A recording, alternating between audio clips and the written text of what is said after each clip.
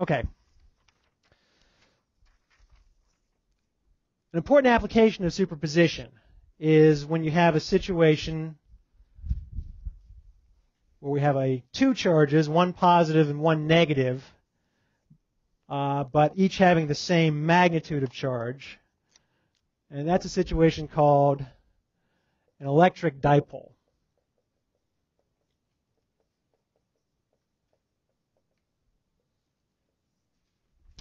So an electric dipole uh, consists of two charged particles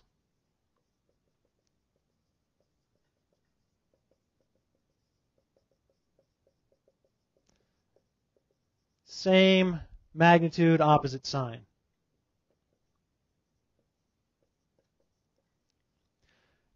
So we have a positive and a negative. There's a negative charge, here's a positive charge. I'm going to draw them on the lying on the x-axis. And if we call this positive q, then this is going to be minus q. Okay.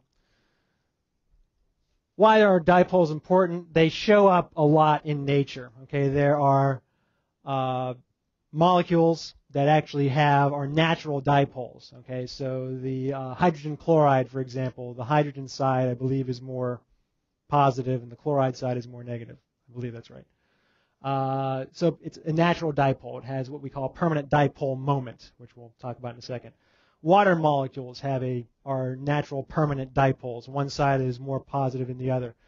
And so this is a, an important configuration to take a look at. Look at the pattern of electric field due to this uh, dipole, because we're going to be coming back to it over and over again. It's going to have lots of applications when we're looking at how fields affect matter, bulk bulk matter. Okay. So what we're going to do, and for the rest of this class, and we might be able to start uh, some other things at the end. We're going to just take a look at the pattern of electric field qualitatively, what it should look like at various locations around this dipole. And uh, then we will work out more formally the mathematics to give us a, an actual expression for calculating the field of a dipole. So we'll look at a couple different observation locations. Okay, so here's our origin.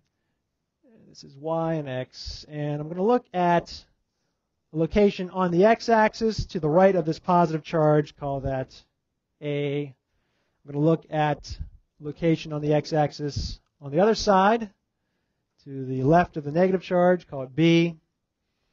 Uh, I'm going to look at a location along the y-axis above the dipole, call that C, and down here the negative y-axis, call that D. Okay. So just qualitatively, let's uh, apply superposition to each of these points and see if we can find the direction of the net electric field. So location A, I ignore the negative charge for right now and just think about the direction of the field due to the positive charge. That's going to be pointing what direction? Everybody. That way. Okay. So that is, I'll call that E sub plus to indicate that's the electric field due to the positive charge. Okay. What about the field due to the negative charge? That's going to be pointing the opposite direction. How do the magnitudes compare? Which which which vector is bigger, E plus or E minus? E plus because it's closer. The positive charge is closer. So the field due to the negative charge farther away is going to be smaller. So when I add those two together, my net electric field points what way? To the right. Okay.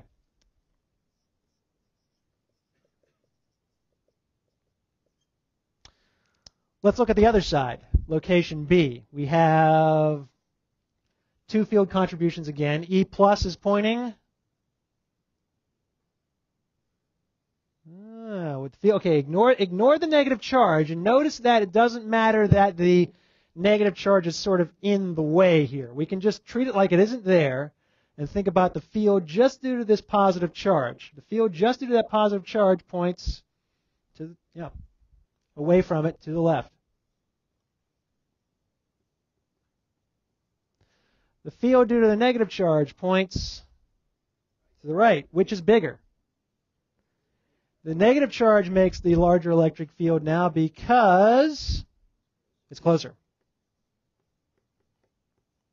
What's the direction of E net? To the negative, yeah.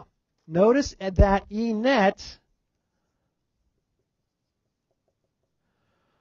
on this side is pointing in the same direction it is is pointing on that side. So already we're seeing a difference from say a single point charge, right? If you had just a positive charge, then the field would be pointing away no matter what side you're on. But in the case of a dipole, we're getting a different result, okay? Let's look at the vertical axis here. Let's draw at this location E due to the positive. That's pointing kind of, yeah, up like that. E to the negative, down and like that.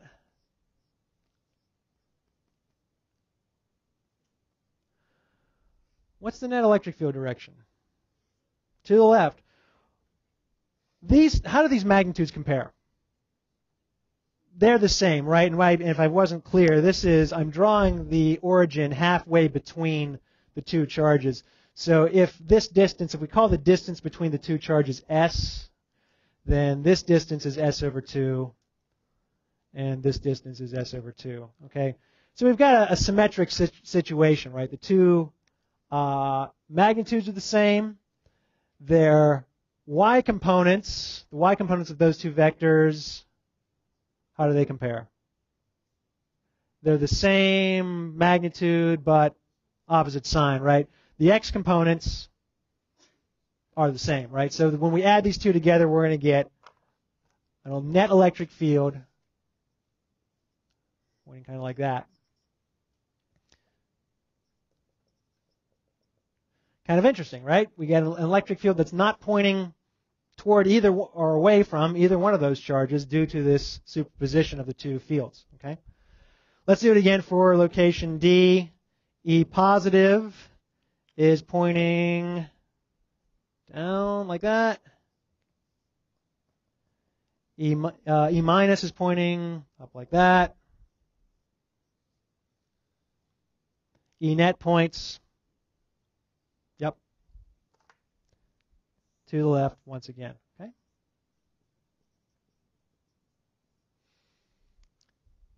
So we get this pattern where it's pointing one direction uh, along the uh, you can call it the parallel axis or the axis of the dipole. And in the opposite direction along what we'll call the perpendicular axis, the axis that's perpendicular to the line that goes through the dipole. And we can do this at other locations, and it becomes a little tedious to think about it ourselves, but we can do this with the help of the computer. And if I show this little demo program, so we have our two charges. The red one is the positive, the blue one's the negative.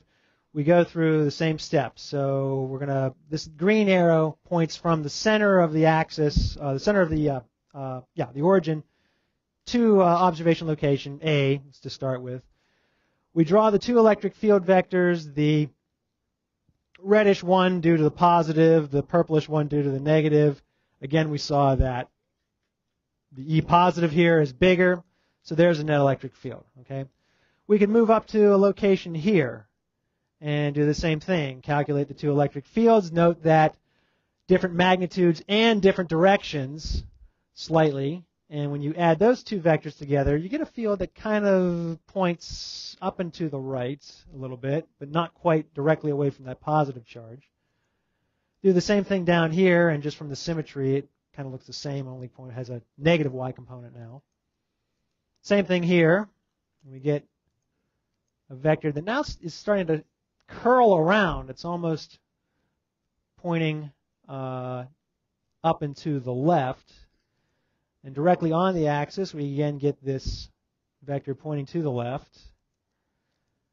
And we see sort of the opposite situation on the other side as the electric field from the negative charge is larger. And then we're back to this final point B. So we get this sort of pattern of electric field that as we move in a circle around the two charges, it kind of curls around. It's pointing mostly away from the positive end, mostly towards the negative end, but kind of curls where it's pointing perpendicular to the axis on this perpendicular axis. So this is sort of the classic pattern or classic dipole pattern of electric field.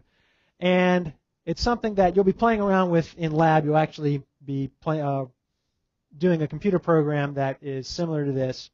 But you want to keep this pattern of field in mind and be, understand how to actually get it qualitatively, be able to go through the steps uh, that we just did here to figure out the field directions.